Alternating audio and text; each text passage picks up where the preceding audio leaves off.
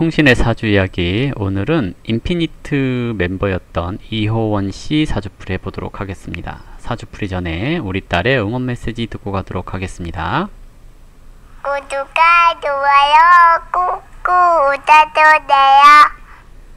네, 구독과 좋아요 꼭꼭 눌러주시고요.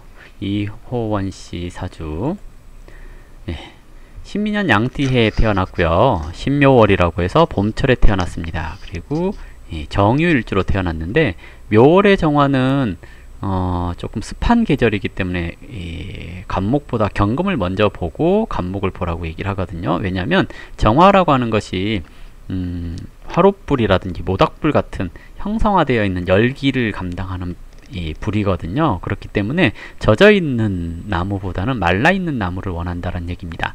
경금은 그 바람을 상징을 하기도 해요. 신금도 역시 바람이기도 하거든요. 근데 경금은 어, 선선하게 불어오는 바람, 미풍을 얘기를 하는 것이고요. 신금은 날카롭게 부는 바람, 뭐 이렇게 얘기를 하거든요. 그래서 칼바람이라고도 얘기를 하죠.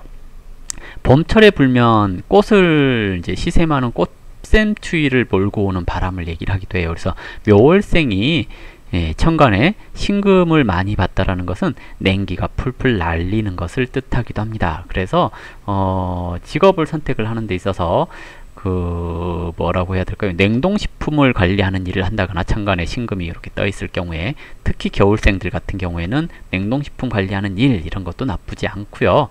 그리고 신금은 날카로운 가위나 칼을 상징을 하기도 합니다. 그래서 가위나 칼을 상징하는 뭐 디자인을 한다거나 또는 묘목이 어, 물상으로 봤을 때 머리카락을 뜻하기도 해요. 그래서 가위질하는 미용업 종사자 이런 경우도 나타날 수 있습니다. 그런데 이분은 가수입니다.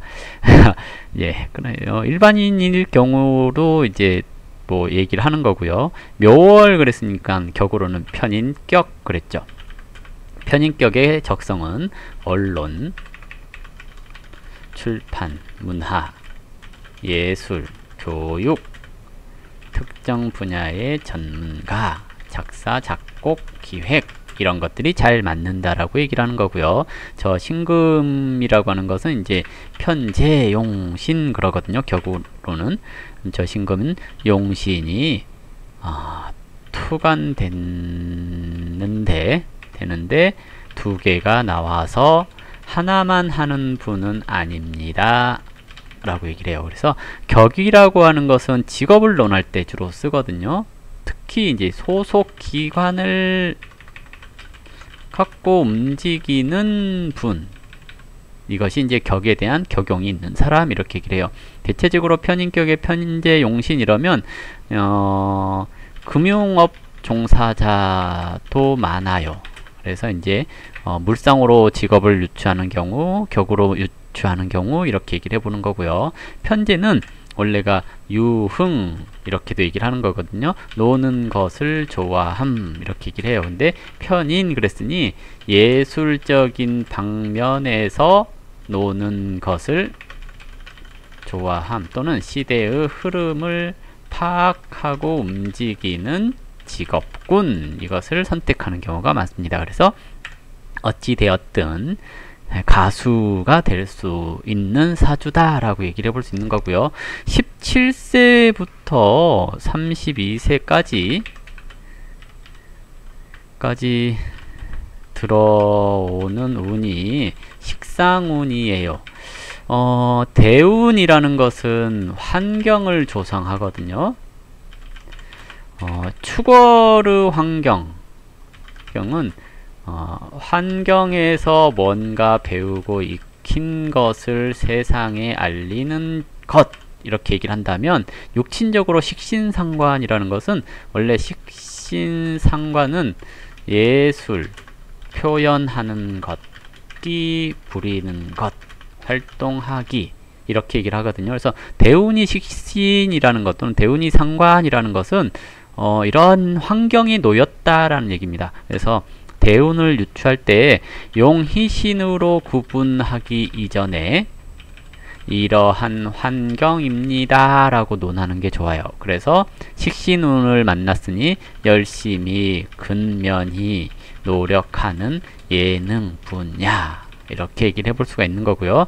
대신 격이라는 원령을 키우지 않고 원령을 키우지 않고 격용을 키웠 어요 라고 얘기를 하는 거거든요 이것이 상징하는 의미는 어, 원령 음, 세상 격용 세상에 적응하는 방법 이렇게 얘기를 하거든요 그러면 세상을 키운 게 아니라 세상에 적응하는 방법을 키워준 것이 격용을 생한운이에요. 지금 이 시기가. 그러면 세상에 적응하는 방법을 키웠으니 어,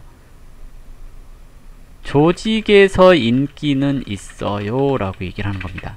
즉 활동하는 공간 내에서 인기는 얻을 수 있으나 어, 격을 키운 것이 아니라서 아니라서 성장의 한계가 있어요. 즉 자신이 할 수 있는 최대치를 뽑았다라고 얘기를 해볼 수도 있겠죠. 그러면 이 시기에 이 사람이 열심히 노력했고 자기의 노력에 대해서 주변에서 예, 조력해주는 그런 운을 만났습니다. 라고 얘기를 해요. 정화가 미토의 근을 내리고 있고 묘미 합을 하고 있는 상태이거든요. 그러면 저 미토가 깨질 때 일간의 기반이 깨질 수 있어요. 축년이 오거나 술년이 오거나 또는 사년이 왔을 때 주로 예, 흔들려요. 이렇게 얘기를 해볼 수 있거든요. 운으로 돈할 때. 그래서 이런 시기 좀 조심하셔야 되죠. 작년이 술년이었네요. 그러면 한 번쯤 저 건강 같은 거 한번 신경을 써줘야 되는 때라고 얘기를 하는 거고요. 또는 자기 기반이 깨질 수 있으니 성급하게 투자를 하거나 그러는 것은 좋지가 않아요. 라고 얘기를 해볼 수가 있을 것 같죠. 일단은 4년이 제일 위험할 것 같아요. 뱀띠 해가 오면 어, 사는 겁재죠. 겁재가 재성이 합을 했으니 투자라든지 이런 것을 통해서 나의 기반이 깨졌습니다. 라고 얘기를 하거든요. 그래서 혹시라도 뱀띠 해가 되면 투자 같은 건 절대 안 하는 것이 좋습니다. 하는 게 이 팔자이고요. 일단은 어, 운의 흐름이 이제 자해 이렇게 운이 흘러가죠. 그러면 격생하는 운으로 갑니다. 이제 와서 어, 세상의 흐름을 타고 가요. 그러면 노는 물이 넓어집니다. 즉, 어, 흔히 말하는 어, 한류 바람 탈 수 있죠. 라고 얘기를 해볼 수 있습니다. 그러면 지금부터 이제 그런 운이 왔다라는 거거든요. 올해 기해년이죠. 기해년이 왔기 때문에 해묘미 복국을 이뤘습니다. 새로운 계약 가능하고요. 그리고 어, 변화, 변동 가능합니다. 외국으로 인지도를 넓힐 수 있어요 하는 것을 얘기를 하는 겁니다. 그래서 운이 어, 연기자로서 운은 나쁘지 않다고 봐요. 이게 가수보다는 인성은 수용성 즉 어, 뭐라고 할까요? 감수성이라고 할까요? 이것이 높아요. 그래서 연기적인 감성 뛰어나고요. 어, 편인 그랬으니 자기만의 세상, 세계 이것을 표현하는 데 능하다고 얘기를 할 수 있습니다. 그러면 작사, 작곡 이런 것도 나쁘지 않습니다. 라고 얘기를 하는 거고요. 어쨌든 운의 흐름 자체가 격을 키우고 있다라는 것은 좀 더 많이 활동할 수 있는 기회가 왔다는 얘기이기도 합니다. 그러니까 열심히 활동하시면 좋은 결과가 있지 않을까 생각을 해볼 수 있고요. 애정 문제, 애정 문제. 인성격이 원하는 것 대화가 잘 통하는 사람 제다한 것이 원하는 것 눈에 보이고 손에 잡히는 사람 이렇게 얘기를 하거든요. 항상 이것이 충돌하기 쉬운 구조를 얘기를 합니다. 보통은 인성 원령이기 때문에 인성이 약하다고 보지가 않아서 마음에 남는 사람 즉 과거의 인연을 잘 잊지 못함 이것을 얘기를 하고요.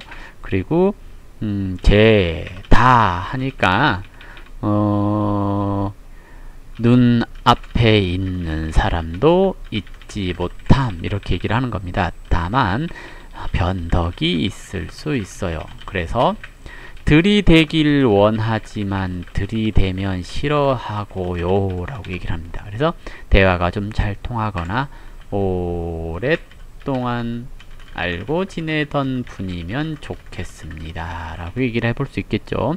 일단 운에서 올해 습을 조장하고 있기 때문에 올해 누군가 만나게 되면 결혼까지도 가능합니다. 라고 얘기를 할 수 있고요. 어, 시기적으로 봤을 때는 결혼은 37세 넘어서 하면 좋겠는데요. 아직 멀었죠.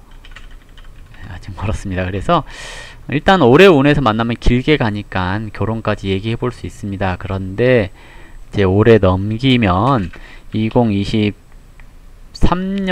운에서도 결혼을 논해 볼 수 있는 시기라고 얘기를 해보는 거고요. 그리고 37세 대운 가서 결혼하게 되는 경우도 있을 수 있습니다. 여기서 이제 처에 대한 성품 이런 것을 논할 때 재성이 천간에 두 개 떠 있죠. 이거는 여자가 생기면 늘 두 명이 같이 와서 헷갈리게 해요.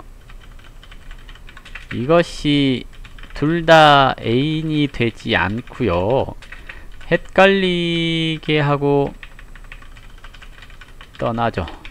그래서 어, 누군가를 만날 때 선택을 잘 해야 합니다. 라고 얘기를 하죠. 어떤 여자를 주로 만나냐? 이 신금, 신미하고 있는 것은, 어, 이게, 세지죠? 세지. 그리고 신묘는 절지인가요? 예, 이렇게 됩니다. 그러면, 둘 다, 어, A는 썩 좋다 말하기 어려워요. 그러니, 잘난 여자라고 보기보다 허우대만 좋은 즉 이쁘기만 한 뭐 이런 경우들이 많고요. 애인으로 나타나는 사람이 결혼 상대자는 에, 장생지에 있고 귀인이죠. 천을귀인 이러면 배우자가 애인보다 더 좋아요. 즉 연애는 잘 못하는데 결혼은 잘해요. 이렇게 얘기를 해볼 수 있습니다. 다만 묘유충하고 충을 하죠. 그러면 어, 시부모 모실 분은 아닙니다. 라고 얘기를 하는 겁니다. 부모님 모시면 고부 갈등 있어요. 이렇게 얘기를 해볼 수 있거든요. 그래서 시부모 모실 분은 아닌 것 같으니까 독립해서 사십시오 하는 것을 얘기를 하죠. 일단 결혼은 세운으로는 올해 조금 유력하고 2023년 유력하지만 대운으로 보자면 37세가 넘어야지 결혼하기에 좋은 그런 시기라고 얘기를 하니까 아마 여자를 만나기에 좋은 때가 올해나 2023년 정도가 아닐까 생각되고요. 결혼을 논하게 되는 것은 이제 37세 넘어서 이제 생각을 해볼 수 있을 때가 아닌가 생각됩니다. 일단 인성격인데 재성으로 저렇게 둘러싸여 있는 것은 어 겉으로 보기에는 되게 재미있고 밝아 보이는데 알고 보면 편인이니까 우울한 면이 있어요. 또는 똥꼬집이 있어요. 이렇게 얘기를 해보는 겁니다. 좋아 좋아 좋은 게 좋아 뭐 이렇게 얘기를 하지만 알고 보면 고집쟁이 이렇게도 얘기를 할 수가 있겠죠. 어쨌든 앞으로 운 크게 나빠 보이지 않고요. 올해 기해년 기토 식신 격용을 생 내가 하고 싶은 일 하게 하는 운 지지 해수 해묘미 합 인성 관합 이렇게 됐거든요. 그러면 조직 간의 새로운 계약 체결 좀 단위가 큰 영화나 드라마 계약 체결 이렇게 얘기를 해볼 수 있습니다. 아 그리고 가을쯤 넘어서 가을쯤 넘어서 10월 정도 될까요? 어, 건강주의 이렇게 얘기를 볼 수 있을 것 같습니다. 어, 그 외에 뭐 올해 딱히 뭐 생각나는 건 없고요. 내년이 경자년 음, 정제 무언가 자신의 재능에 대한 불만으로 열심히 재능 개발할 운 지금까지 하던 것 말고 새로운 것에 대한 도전. 지지로 자수는 월령의 형살, 여자 조심.